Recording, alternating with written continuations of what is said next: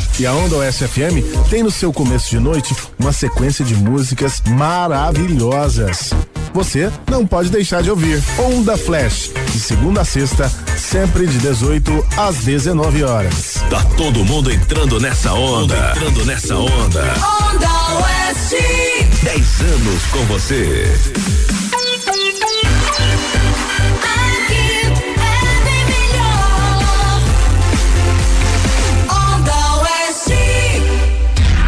ZYX 504, canal 262. Na sua frequência, 100,3 FM Rádio Onda Oeste, Piuí, Minas Gerais. Transmitindo em tempo real para mais de 150 cidades.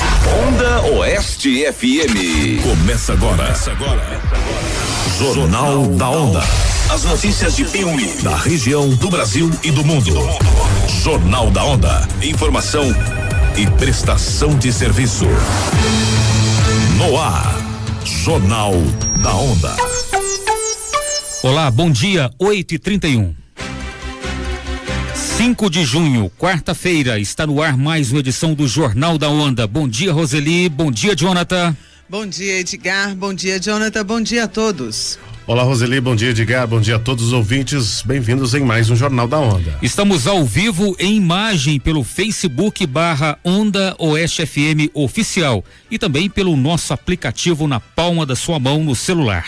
Em nosso canal no YouTube e no nosso site ondaoestfm.com.br e no FM 100,3. E agora vamos aos destaques desta edição. Prefeitura de Piuí realiza seminário de meio ambiente e fará o lançamento oficial da coleta seletiva na cidade. Agência da Caixa Econômica Federal de Piuí renegocia dívidas de clientes inadimplentes durante o mês de junho. Idosa é vítima de golpe ao sair de agência bancária. Dupla rouba e deixa vítimas descalças na MG 050. Bolsonaro entrega ao Congresso o projeto que altera regras da Carteira Nacional de Habilitação. Ministério Público Federal diz que Lula pode ir ao regime semiaberto. Essas e outras notícias agora no Jornal da Onda.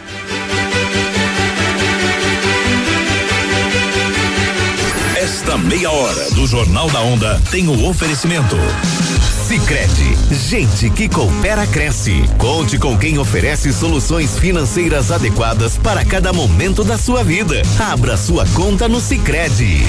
Esta meia hora do Jornal da Onda tem o oferecimento. AP Agrícola, agora de novo endereço. Rua Doutor João Alberto, número 533, bairro Nova Esperança, em Piuí. Telefone 37 3371 4004. 37 3371 1782. Conte com a AP. Jornal da Onda. No Jornal da Onda, as notícias de Agora são 8 horas 33 minutos e o Departamento de Meio Ambiente da Prefeitura de Piuí, com a participação do Grupo Gaia e da empresa JDE, realiza hoje, dia 5, Dia do Meio Ambiente, um seminário sobre meio ambiente e coleta seletiva. O encontro terá início às 7 horas da noite no campus avançado do IFMG. Aqui no Jornal da Onda, o secretário adjunto de Meio Ambiente, Martiniano Fagundes. Bom dia, secretário. Bom dia, Roseli. Bom dia, ouvinte 100,3. Martiniano, bom dia para você. Muito obrigado por ter atendido o nosso convite aqui. Está passando as informações para os nossos ouvintes. É, a grande questão hoje, nesse seminário que acontecerá logo mais à noite, às 7 horas, será o lançamento oficial do início do processo da coleta seletiva aqui na cidade de Piuí. Fala um pouquinho para nós sobre isso. Bom dia, Edgar. Então, é, hoje se comemora o Dia Mundial do Meio Ambiente, então foi um dia é, bastante importante para que começássemos, né, hoje com o seminário agora, né, no período noturno, às 19 horas na, no IFMG, falando um pouco de meio ambiente e coleta seletiva. Né? E a gente pretende, na verdade, começar essa coleta já na próxima segunda-feira, é, no dia 10, né? Atingindo, começando pelos oito bairros que serão o, o, piloto aqui da coleta seletiva em Piuí. Quais são esses bairros? Qual área que será atingida primeiro? Então, nós começaremos ali pelo Novo Tempo, é, Pérola Negra, Alvorada, né, que é o, o sítio Pamela, É, também o Bela Vista, o São Francisco, Nova Piuí e Capoeira. São os bairros pilotos que vamos começar é, para começar e corrigir alguns erros que vão acontecendo, algumas lacunas que vão ficando no meio do caminho para que depois a gente consiga expandir para toda a cidade. E o que, que é a coleta seletiva e como que a população vai poder colaborar nesse processo, Martiniano? Então, a coleta seletiva ela vai acontecer da seguinte forma é, toda, né, o morador do local desses bairros, eles terão, né, é, poderão nos ajudar com a questão da coleta, separando o seu lixo da seguinte forma: seco e molhado. É, indiferente é, da sacola que eles vão colocar, né? É, pode ser igual, distintas, né, ou diferente, mas é o lixo seco é todo material que pode ser reciclável. Então não há necessidade, né, do morador, do cidadão separar plástico de garrafa, de metal, pode colocar tudo junto numa única embalagem, numa única sacola e tá é, é, depositando né, do lado de fora da sua casa. Lembrando que a coleta vai começar a acontecer segunda e quinta-feira nesses bairros. Ok. O Martiniano, do ponto de vista da informação, e já iniciou alguma campanha para esses bairros pilotos para de como, de que forma que a população pode contribuir para que tenha sucesso a coleta? Sim, é, diga, é, é, bom lembrar também é, que durante né, é, a, a, o primeiro dia de coleta, nós vamos estar entregando também um saco de ráfia para que a pessoa tenha ele em casa justamente para depositar né, é, esse, esse resíduo né, reciclável e quando o caminhão passar ele poder depositar do lado de fora, de forma que vamos né, entregar no caminhão e devolver o saco né, para a pessoa que colocar do lado de fora. É, na sua pergunta, o que que acontece? Estamos fazendo um trabalho muito forte com algumas entidades, né? Envolvendo bastante a Secretaria de Saúde, é, com um departamento de vigilância epidemiológica, que são as pessoas que visitam né, as casas aqui em Piuí, porta a porta, e também o agente de saúde que visita essas casas nesses bairros. Então, assim, é os nossos dois pontos-chave. É, lembrando que o primeiro dia de coleta será uma coleta mais educativa, uma coleta mais lenta, onde estaremos na rua, tá? Com alguns voluntários e algumas pessoas envolvidas no projeto, né? É, da prefeitura municipal, é, fazendo um trabalho de porta a porta mesmo, batendo em cada porta, entregando um saco de rafa, explicando o motivo, né? Como vai funcionar de fato, né? vamos explicar a cada morador, a cada residência que nós batemos, vamos explicar isso e também na entrega do saco de raça será entregue também um imã de geladeira, né? um imã para que a pessoa possa acompanhar os dias da coleta, tá lá a informação completa no imã de geladeira também. Mas, na sequência, após a coleta feita, né, esse início agora aqui, mesmo nesse projeto piloto, qual será o destino desse lixo? Como vocês vão destinar esse lixo depois? Muito boa pergunta, Edgar. É, esse lixo, esse resíduo né, reciclável, é, teria que ser triado aqui em Piuí. Nós estamos preparando uma central de triagem, já temos o local.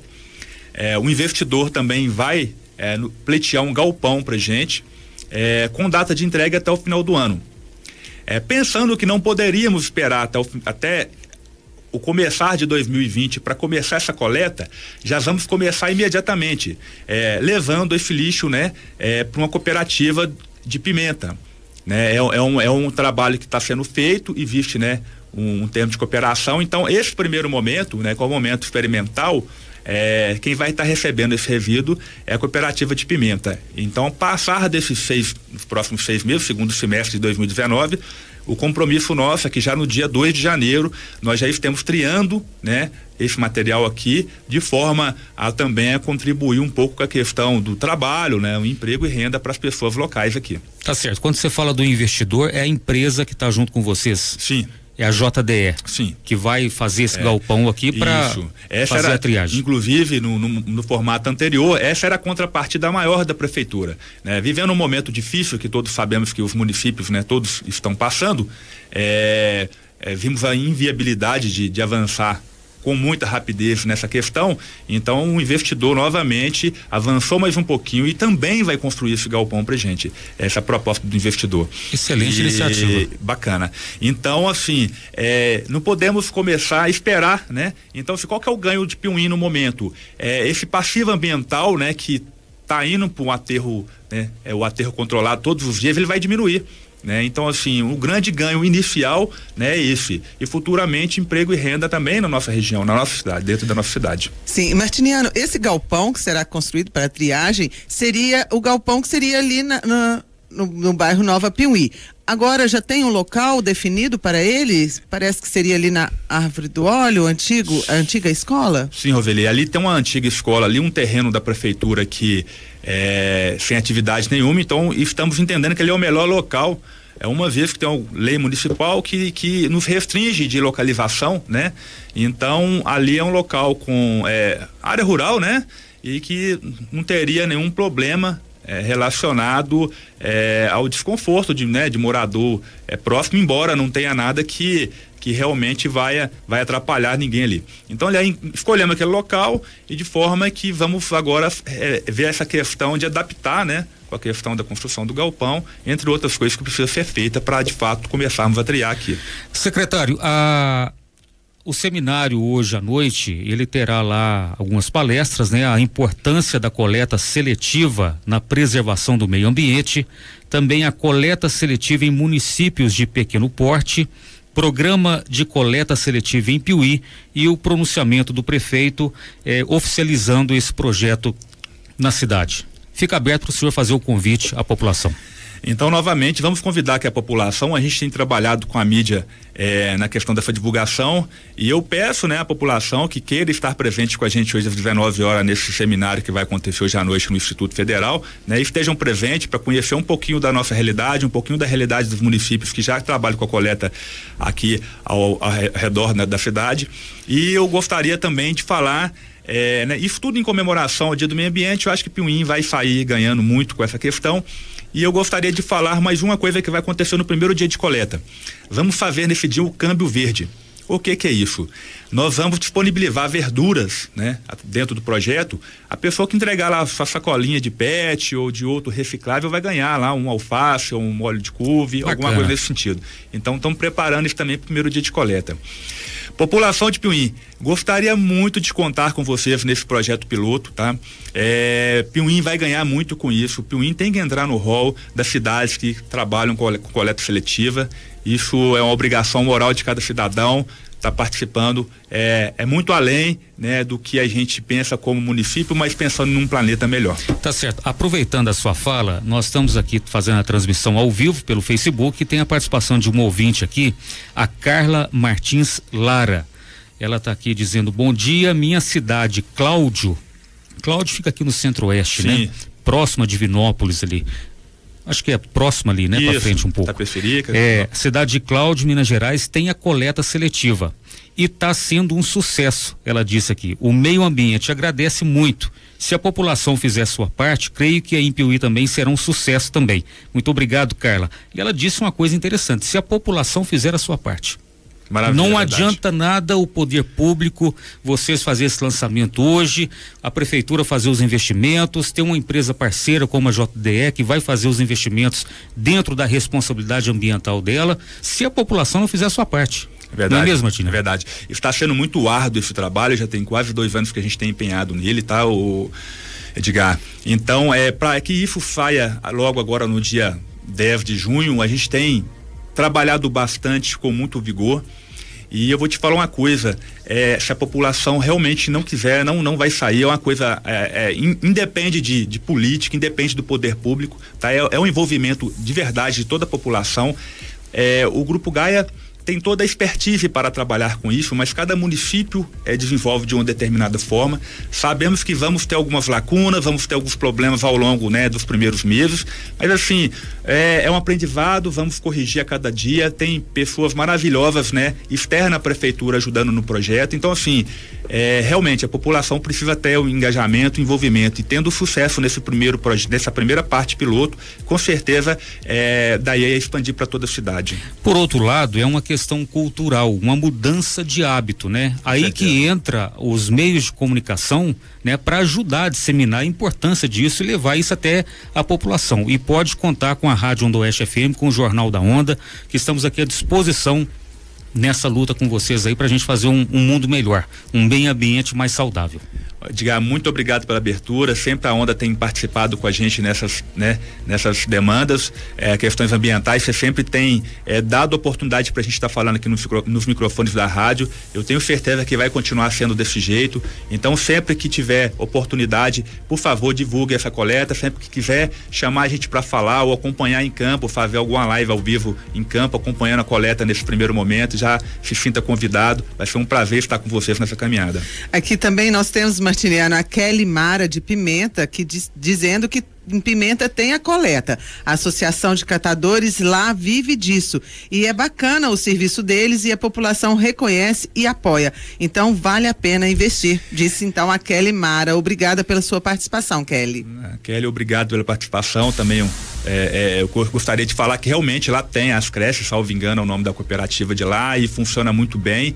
E, gente, esse pessoal que trabalha na ponta são agentes ambientais, estão fazendo um bem para o nosso planeta. Então, quando nós estivermos triando aqui também, que maravilha, são pessoas envolvidas diretamente na ponta, né, é, fazendo um trabalho ambiental assim belíssimo. Tá certo, Matiné, muito obrigado pela sua vinda aqui no Jornal da Onda. Sucesso hoje lá na, no seminário, estaremos lá fazendo a cobertura e estamos aqui à disposição. Um bom muito dia para você. Muito obrigado, bom dia para vocês também. Bom dia. 8 horas e 46 minutos. Você está ouvindo Jornal da Onda. Aqui a notícia chega primeiro. Participe do jornalismo da Odoeste FM, mandando sua sugestão, flagrante, foto ou vídeo para o departamento de jornalismo pelo WhatsApp, WhatsApp 37 9816 1003. Você recebe uma mensagem pelo WhatsApp ou pelo Facebook e não sabe se ela é verdadeira? Então não passe para frente. Primeiro, certifique-se a veracidade e a necessidade de compartilhar a informação. Pense antes se não vai ferir a honra ou causar transtornos para uma pessoa, para uma empresa ou para uma cidade. Já imaginou se fosse com você? Com você? Fake news, ou seja, notícia falsa é crime. Compartilhe algo que faz bem ao próximo. Uma campanha da Rádio Onda Oeste. Onda Oeste FM. 8 horas 47 minutos. Como conforme noticiamos na semana passada, a Caixa Econômica Federal está renegociando as dívidas com os clientes inadimplentes, que poderão regularizar seus débitos em atraso com descontos. A campanha de renegociação de dívidas se estenderá durante todo o mês de junho. O Jornal da Onda esteve na agência de da Caixa Econômica Federal de Piuí e falou com o gerente geral Douglas Rodrigues Cabral. Ele disse que na agência de Piuí são cerca de 5 milhões de reais em contratos que podem ser regularizados. É, essa campanha é uma campanha que a gente tem que tem um nome, né? Quita fácil, né? É, você no azul, né? Então a Caixa está fazendo um esforço para para que o pessoal que tem dívidas com a Caixa, né? São dívidas em atraso, né? É, para regularizar essas dívidas, né? Essas dívidas podem ter desconto de até 90% nos juros, é, nas multas, juros e até no capital, né? Então é a hora do pessoal estar tá regularizando aí, né? E colocando o nome no azul. E Piuí irá participar desta campanha? Sim, isso é a caixa é do Brasil inteiro, né? Está é, contemplada, né? Em Piuí a gente tem na faixa de 5 milhões de reais em contratos né, que podem ser regularizados, né, é, tanto na pessoa física quanto na pessoa jurídica também.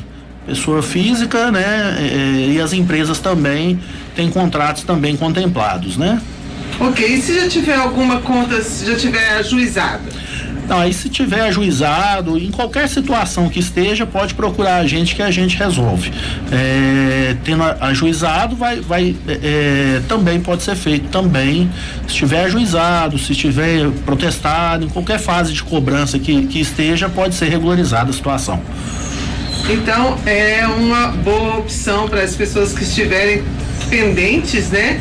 Vir aqui na caixa e já ficar com tudo regularizado, né, Douglas? Sim, agora é a hora, pessoal. Vamos aproveitar para poder fazer um bom negócio, né? Para começar aí esse, esse segundo semestre aí sem estar com dívida, né? Lembrando que a campanha é esse mês agora de maio e junho, né? Maio é, acabou já, né?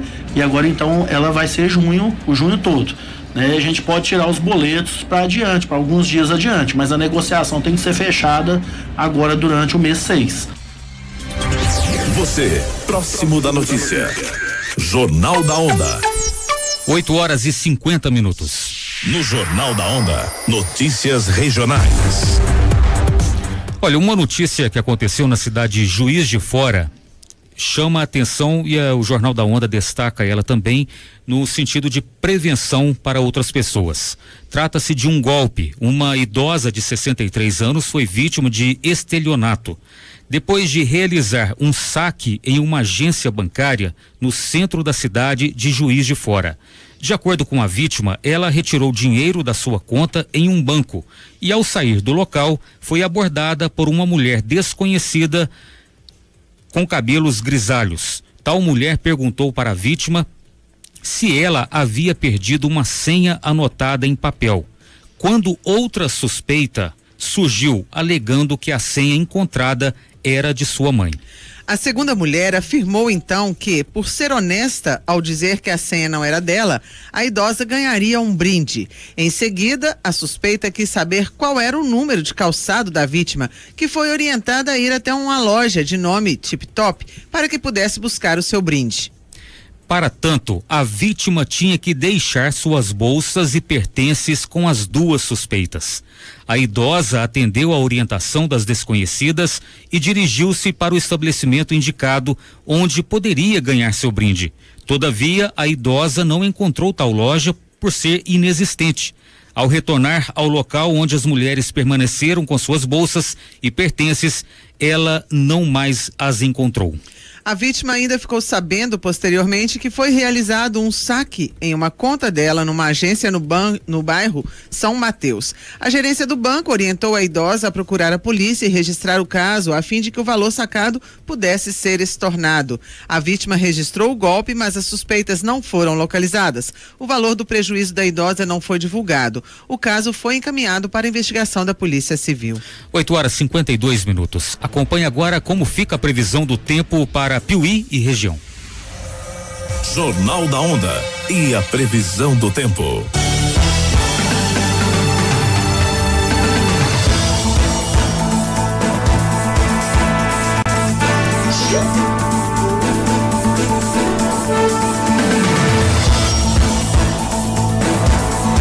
Nesta quarta-feira, 5 de junho, a previsão para Piuí e região é de sol com algumas nuvens, não chove, a temperatura varia entre 10 a 21 graus.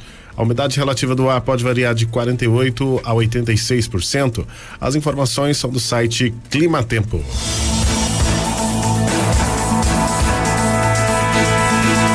Esta meia hora do Jornal da Onda tem o oferecimento. Sicredi, gente que coopera cresce. Conte com quem oferece soluções financeiras adequadas para cada momento da sua vida. Abra sua conta no Sicredi.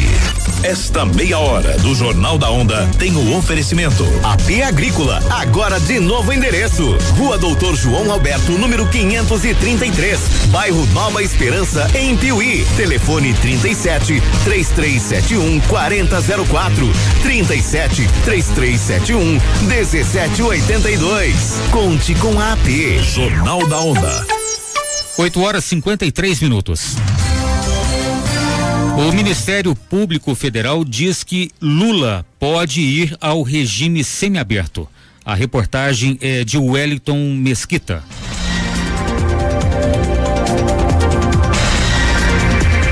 O Ministério Público Federal considerou que o ex-presidente Lula está habilitado a progredir sua pena para o regime semiaberto. Segundo o parecer enviado ao Superior Tribunal de Justiça, assinado pela Subprocuradora-Geral da República, Áurea Lustosa Pierre, o ex-presidente já cumpriu tempo suficiente da pena. O regime semiaberto concede ao preso que cumpriu um sexto da condenação o direito de sair da detenção para estudar ou trabalhar durante o dia. Lula cumpre pena desde abril do ano passado em Curitiba, em regime fechado, por condenação na Operação Lava Jato no processo do apartamento do Guarujá. A subprocuradora defende que o STJ volte a discutir uma eventual progressão da pena do ex-presidente. Não há prazo para que o STJ analise o caso. Em abril deste ano, Lula teve sua pena reduzida pelo STJ para oito anos e dez meses de prisão. Para a subprocuradora, houve omissão do Tribunal Superior, que, segundo ela, deveria ter julgado naquela ocasião a progressão de pena do ex-presidente. Agência Rádio Web, com informações de Brasília, Wellington Mesquita.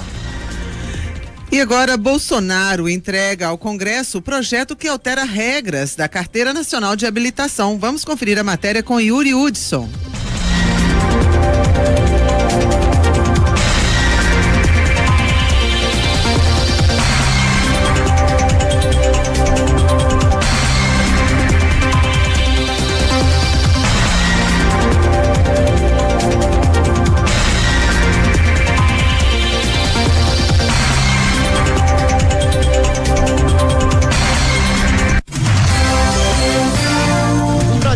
Lei que propõe mudanças no Código de Trânsito Brasileiro foi entregue nesta terça-feira pelo presidente Jair Bolsonaro no Congresso Nacional. Acompanhado pelos ministros da Casa Civil, Onix Lorenzoni, e da Infraestrutura, Tarcísio Gomes, Bolsonaro entregou o texto pessoalmente ao presidente da Câmara, Rodrigo Maia. O documento propõe a ampliação do prazo de validade da carteira de motorista de 5 para 10 anos e que as habilitações já expedidas antes de a lei ser implementada tenham o prazo estendido automaticamente. Além disso, o PL propõe um aumento de 20 para 40 pontos na carteira para que o motorista perca a habilitação devido a infrações de trânsito e o fim da exigência do exame toxicológico para motoristas profissionais. Segundo Jair Bolsonaro, a ideia é desburocratizar a vida dos motoristas brasileiros. É um projeto que parece que é simples, mas atinge todo o Brasil. Todo mundo é motorista ou anda de, um, uma forma ou de outra em um veículo automotor. Em parte, esse projeto é, veio de ideias do próprio presidente da Câmara e como muito importante, a gente passa de 5 para 10 anos a validade da carteira de motorista. O ministro de Infraestrutura, Tarcísio Gomes, cita outras mudanças propostas, também no sentido de desburocratizar e inovar. Que a ideia é transformar todos os documentos em documentos digitais. Cidadão, motorista vai poder andar com a carteira de motorista dele, com o certificado de registro no celular e quem vai centralizar essas ações é o Denatran. Outra coisa importante é a validade do exame de direção, está passando 5 para 10 anos, isso tem uma razão orgânica, não faz sentido. A expectativa de vida melhorou, a saúde melhorou e a gente está impondo a cada cinco anos um exame para fazer a carteira. E uma coisa muito importante: o cidadão vai poder fazer esse exame em qualquer clínica, ele vai poder fazer no SUS, ele vai poder fazer no plano de saúde. Então a gente está tirando a exclusividade do Detran. O projeto também propõe o fim da multa para veículos que circulem durante durante o dia em rodovias de pistas simples sem o farol baixo. Nesse caso, incidiriam apenas os pontos na carteira, sem a cobrança de multa. Mesmo assim, continuaria sendo obrigatório o uso dos faróis de dia. Em relação ao uso de cadeirinhas infantis em veículos, o governo defende que a obrigatoriedade vire lei e não uma resolução do CONTRAN, o Conselho Nacional de Trânsito, como é hoje. Antes da entrega do projeto no Congresso, o presidente Jair Bolsonaro participou da cerimônia de apresentação de cartas credenciais de oito novos embaixadores que vão atuar no Brasil. São representantes da Venezuela, México, Colômbia, Paraguai, Arábia Saudita, Peru, Guiné e Indonésia no Brasil. A embaixadora da Venezuela, Maria Tereza Belandria, representa o governo do autoproclamado presidente interino venezuelano Juan Guaidó. A cerimônia ocorreu no Palácio do Planalto e, na prática, a entrega dessas credenciais reconhece a atuação dos novos diplomatas no Brasil. Da Rádio Nacional em Brasília, Sayonara Moreno. 8 horas 58 minutos, encerrando por aqui mais uma edição do Jornal da Onda. Roseli, hoje são 5 de junho. Dia da Ecologia. Dia Mundial do Meio Ambiente. Dia Nacional da Reciclagem. E que ele nos proteja, dia de São Bonifácio. É isso aí. Mandando um abraço aqui para os nossos ouvintes, a Claudete de Jesus, também a Carla Martins Lara, a Kelly Mara, o Silvio Júlio. Bom dia, família Oeste, pela iniciativa da entrevista aqui com o Martiniano. Neste horário, Piuí, ele diz aqui, neste horário, Piuí região param para ouvir as notícias. Muito bom. O Túlio Regis Balduino está dizendo também que em Vargem Bonita é, também há o, também o lixo e o esgoto funcionam muito bem. Um abraço aí pela participação, Túlio. A Marcília Maria também, o Jânio de Araújo também curtindo aqui pela live. Um bom dia para você que ouve aí no seu radinho convencional, o Jornal da Onda. Eu mando um abraço também para o Adonai. Ontem eu estive com ele. O Adonai é o que prepara ali a fanfarra para o 7 de setembro. E ele disse: Edgar, tô ligado no jornal todo dia de manhã. Então são muitos ouvintes que ao pouco, aos poucos nós vamos descobrindo as pessoas que estão acompanhando o Jornal da Onda. Um bom dia, Roseli, bom dia, Jonathan. Bom dia, Edgar. Bom dia, Jonathan. Bom dia a todos. Um bom dia. Bom dia a todos, Roseli e Edgar, e até amanhã. Uma excelente e abençoada quarta-feira para todos nós. A gente se fala amanhã, quinta-feira, às oito e meia da manhã. Bom dia. Você ouviu? Você ouviu? Jornal da Onda. Informação, informação e prestação de serviço. Jornal, da Onda. Olá! Na Onda Oeste FM, você tem de segunda a sexta o programa Show da Onda. Sempre de nove ao meio-dia.